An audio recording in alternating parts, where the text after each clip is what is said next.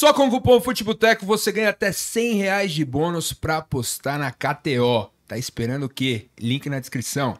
Mas antes de tudo isso, você trampou na Globo, né, velho? Quanto tempo de Pô, Globo? 12 anos de Globo. 12 anos. Eu acompanhava muito esse quadro Entrei como tinha, estagiário. O Bola Quadrada, lá É. que você zoava a galera do... Isso já foi até a minha reta final. Já na reta final, Eu mas entrei antes- moleque, moleque mesmo. É...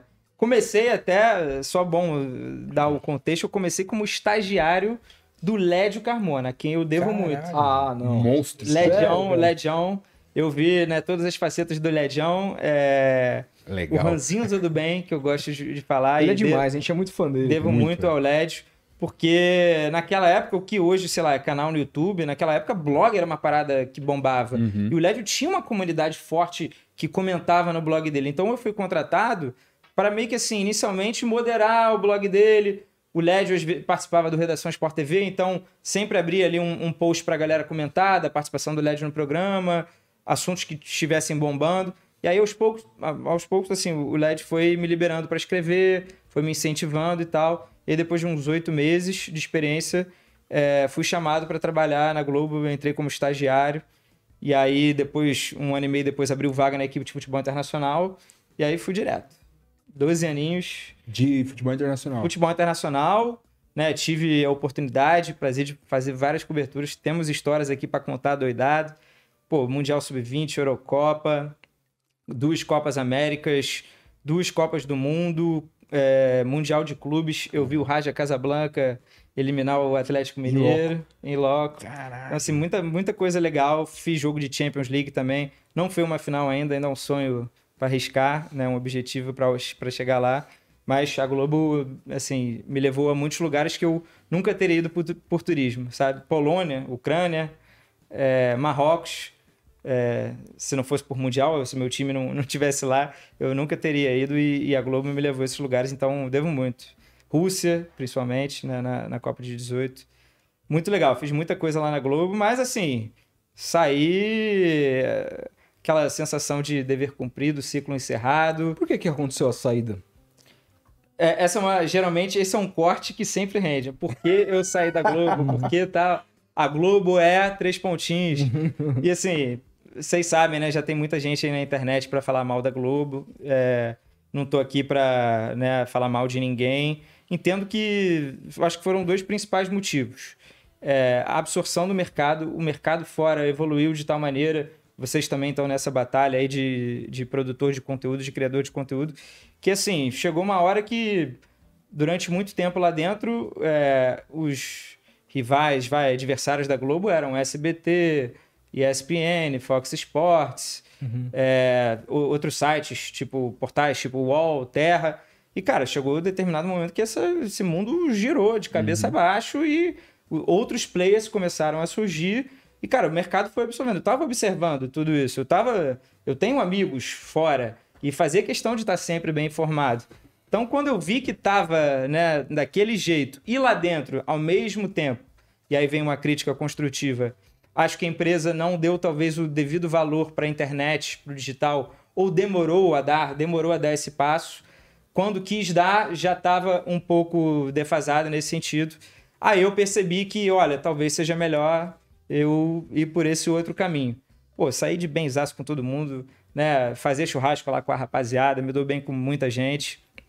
Ainda tenho muitos amigos, acesso já todo dia para me formar. É, mas é isso, acho que foi uma. Foi a decisão mais difícil da minha vida, foi mais difícil que o vestibular. Fiquei uns dois, eu tô resumindo aqui em cinco minutos, mas eu fiquei dois meses pensando, noites Caraca. mal dormidas.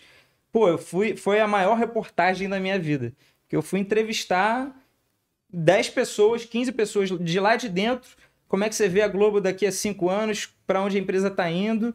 E entrevistei também 15 pessoas, 10 pessoas lá fora, de produtores de conteúdo. Vem cá, a piscina tá quentinha mesmo? Me dá um exemplo aí. Tá pagando bem? Para onde eu posso ir quando eu sair? Porque eu saí pelado. Teve uma pessoa que Você saiu antes de nada mim. engatinhar. né? Nada. Uhum. O Marcelo Razan, que foi repórter. Tá no UOL. É, muito Tá no UOL, foi repórter de São Paulo, do Santos. É. É, um excelente narrador, tá, tá indo por esse caminho. É, ele foi o primeiro a sair. E eu sou um parceirão dele, comecei a trocar muita ideia. Acho que ele saiu um mês antes de mim. E eu já tava com uma sementinha conversando com ele ele né, me ajudou a explicar o cenário, como estava lá fora, e aí facilitou um pouco essa tomada de decisão. E aí, tanto que depois, vários outros acabaram também tomando essa mesma decisão de sair. Eu acho que todo mundo que pediu demissão tá bem, né? Um sinal de que o mercado realmente conseguiu a- abraçar essa galera. É, já não tem informação assim de todos os outros que foram demitidos também. Não sei como estão, se foram para outra área, se continuam ali no esporte, produzindo conteúdo. Mas abriu-se esse caminho e aí eu resolvi encarar, aproveitar. E, cara, tô muito feliz. Com... Foi também, ao mesmo tempo, uma decisão super dolorida, dolorosa, é, sofrida, mas é, ao mesmo tempo, uma semana depois já tinha aparecido coisa que eu falei, cara, é as coisas às vezes aparecem, te- é o ditado, Conta né? um pouco sobre, sobre essa transição, assim. Você sai da Globo e aí você falou, eu saí pelado. Saí sem nada engatilhado, nem engatilhado, nem nada. Vocês não precisam me imaginar pelado não, tá, gente? É. E, e aí, eu queria entender, assim, como é que é? Assim, como é que foi pra você esse pós? Porque tomar, até tomar decisão é uma coisa, mas a gente nunca sabe como que vai ser o, o, o resultado das nossas próprias decisões até elas acontecerem. Aconteceu. E aí, como foi essa transição pra você começar a produzir conteúdo pra internet, pra você é, aparecer de- um tanto que a Live Mode te procura pra fazer a Copa do Mundo do Casé, que a Ronaldo TV te procura. Como é que foi esse caminho? Ponto número um, eu acho, né? É, eu não tinha filhos, hoje eu tenho uma filha, é, Marina, um beijo. Filha, daqui a alguns anos você vai assistir a esse podcast aqui, essa resenha, você vai ver. Um beijo para minha esposa Laila, é, que me ajudou muito nesse processo. E a minha família, assim, também. Eu, eu sabia que poderia contar com a minha família caso desse algo ruim. Eu sei que muitas pessoas que estavam na mesma situação que eu não poderiam, por exemplo, se arriscar a ficar dois meses sem salário. Uhum. Sim, bem ou mal, mesmo recebendo mal, os jornalistas, vocês sabem, é, sabem como é o cenário. Pô, do teu padrão de vida, tu não pode ficar dois meses sem salário. Eu poderia. Tipo assim, a- eu tinha essa segurança, então isso encoraja, né? E aí, assim, sair pelado, é, mas sair meio que sabendo que é, se eu batesse em algumas portas, se eu né, fizesse. Eu, cara, eu saí com tesão assim do tipo, vou trabalhar todos os dias, quantas horas forem necessárias, porque agora é a minha marca. Eu não trabalho agora para nenhum chefe, né? Eu trabalho para mim mesmo. Então, eu vou acelerar. E aí, cara, dizem que é coisas do destino, né? É o momento certo e tal. Eu saí, a Libertadores me procurou na semana seguinte.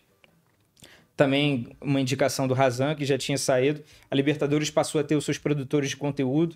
Fiz muitas lives, acabei também indo a jogo, mas principalmente lives, fazendo. Era época de pandemia ainda, 2021, é, produzindo muito conteúdo. E a Twitch, é, eu tava fazendo lives de FM, Futebol Manager, vocês são fãs? Jogam? Não. Eu nunca joguei. Nunca cara. joguei Puta, também. o que, que eu tô fazendo aqui? Vocês jogam? pessoa, pessoa... Ah, temos um jogador aqui de FM. FM é vida. É, FM é sim, vida. Eu, eu sei o que é, mas é. Enfim. É também uma, é um caminho ali pra perdição, né? É. Tua vida social vai embora. É, não. Eu comecei a fazer lives de FM é, na. Assim, na madrugada, de rolê mesmo, era pandemia. Uhum. E, cara, graças a essas lives de FM, a Twitch, que estava criando um programa de esportes para pessoas falarem de esportes, porque a Twitch é da Amazon, a Amazon tinha todo um interesse global ali de, de entrar no esporte, falou, cara, eu te dou esse contrato aqui agora, você tem que bater essas metas, você vai ganhar isso, isso, isso pagando em dólar. Eu falei, ah, Caralho. eu vou bater todas as metas, vou, né, vou virar à noite, mas eu vou bater essas metas.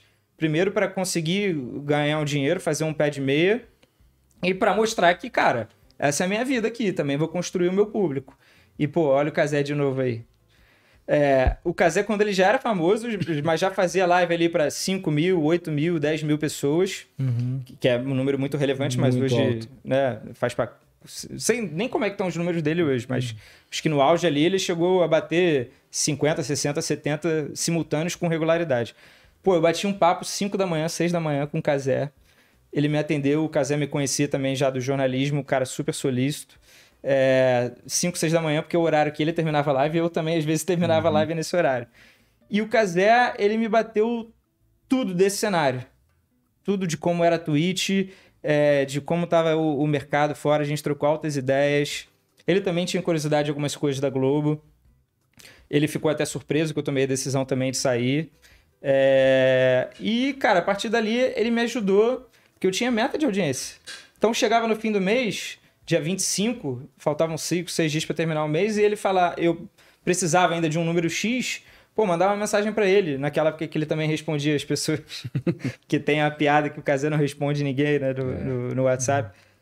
E, cara, e- às vezes ele via e me dava um gank na madrugada, e do nada, 5 da manhã, tô lá, brotam 10 mil pessoas na minha live. Uma parada inacreditável. Imagina 10 mil pessoas aqui na sala. E era isso. E, tipo assim, uma parada surreal, surreal.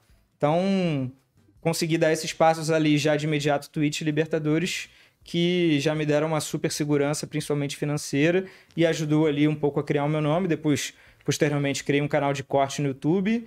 Comecei a fazer vídeo longo, e aí percebi que, cara, pra eu chegar no nível de um Bruno Formiga, também troquei muita ideia com Formiga, pô, vai demorar pra bater 100 mil, 200 mil, 300 mil de inscritos e visualizações. Pô, vou demorar muito pra ganhar dinheiro aqui, eu vou ficar refém. Pô, vou fazer uma outra parada que que ninguém tá fazendo ou poucos estão fazendo, vídeos curtos. É. E aí foi pra esse caminho hoje que eu tô, que eu abracei também de fazer vídeos de até um minuto e meio, que as plataformas também estão incentivando. Então, cara, acabou sendo, né, tudo indo na tentativa e erro, mas também tudo às vezes parando no teu caminho e olha só, é isso. E é muito Abraça também, isso aí. É muito também sobre tendência de mercado. né? Ontem a gente estava trocando uma ideia longa no Sim. WhatsApp sobre isso, porque a gente. Se tem uma frustração nossa, é o que hoje se tornou o canal principal do Futeboteco. Que é graças a ele Que é a gente graças a ele que a gente produto tá aqui. Só que hoje ele é um canal praticamente parado. A galera que acompanha nosso trabalho sabe disso. Por quê? Porque esse canal ele, ele surfou muito na onda da mídia esportiva. Numa época que saía notícia quente de mídia esportiva, que foi uma época que eu acho que não vai voltar nunca mais, Não. que saía notícia quente sobre isso todo dia. Então a gente tinha um Pocket News que todo dia tinha uma. Tinha Às vezes tinha, que ter- tinha até duas, né? A da entrada e a da saída, né, Aí, Felipe? o pessoal já tá mandando aqui saudades Pocket E aí, News. puta, era, um- era uma. E aí nisso a gente cresceu, criou um público, através disso a gente conseguiu o, o- a grana pra montar o podcast, que era uma coisa que tava na nossa Que visão. é isso aqui, baita Que é de um aqui. estúdio, hein? É. Uhum. E aí acontece que assim, de, de- do ano passado pra cá, começo do ano passado pra cá, com a mudança que teve naquela época do começo do ano passado de algoritmo e tudo mais, é que me parece que o YouTube hoje está valorizando muito mais vídeo mais longo. Ou é muito curto com os shorts agora, Uhum. ou são os mais longos. A galera que fazia um 20 curso min? meio Ah. 20 min pra Por aí. cima. E dá trabalho também é, fazer isso. vídeo, vídeo de reportagem, de documentário, de coisas mais elaboradas, assim, o YouTube entrega muito, cara. a gente começou a perceber que, nós, que o Pocket estava perdendo relevância e tal. E aí o que fez a, a gente conseguir se manter foi também entrar nesse mercado de vídeos curtos. Com os trampos que a gente tem hoje no E TikTok daqui a e no cinco Quai. anos vamos ter que fazer outra coisa. Outra Outra coisa. coisa. É isso. E é importante estar ligado nessas mudanças, é, porque é isso, é sobre isso. A gente, é, no fim, assim, a gente se acha é, donos de nós mesmos, das nossas próprias marcas, das- se acha, nos achamos empresários porque nós não temos um chefe mandando mensagem que a gente tem que entregar aquilo, mas no fundo mesmo, nós somos empregados das big techs, cara. É isso que nós somos. É, quem, quem paga pra gente é. mas, ao mesmo, é- é mas ao mesmo tempo é muito mais libertador ter Muito essa, mais. Claro. essa Muito condição mais. do que Primeiro que você um- tem mais métricas para avaliar e, cara, cria uma identidade super forte. Sim. Algo que dentro lá do, do GE, é, talvez só o Bola Quadrada tenha me dado, porque o Bola Quadrada era um programa que a gente estava lá duas vezes na semana, e fazendo zoeira, então aproximando o cara que assistia. Então ele se sentia, às vezes, parte daquilo. Às vezes ele até participava, a gente botava a galera para participar das brincadeiras.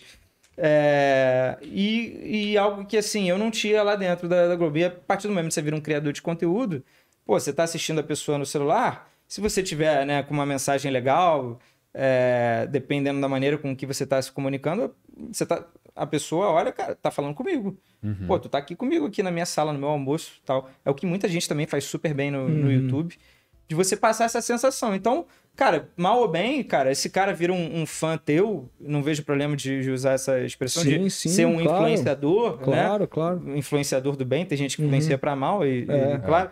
Mas, é, você carrega essa galera, né? Sim. Então, hoje, né, o meu público tá muito mais ali, talvez ali no Instagram e tal. Daqui a pouco pode estar em outro lugar, né? Sim. Posso estar fazendo outra coisa e, e aquela galera que passou a admirar o teu trabalho vai junto contigo.